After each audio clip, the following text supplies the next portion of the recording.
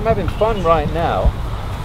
Try it. I mean, you are, as I was saying, you're either a, a feel person. So yeah, if I'm if I want to fade it or draw it, as I as I described, those are those are commands to a feeling, aren't they? So one's hold off. So I've got to feel that uh, impact to hold the blooming thing off. The rotate, rotate is well, I've got to feel the blooming thing rotate to do that.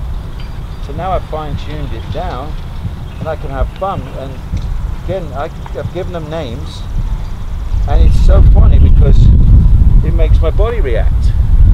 If I want the low scoop, guess what? I stand up and I'm so I'm visualizing straight away it's got to go there, got to go low. So how do you think I address the ball? I find a way to go low, don't I? Just a fraction. So when I want the low, that right shoulder just pops up because I know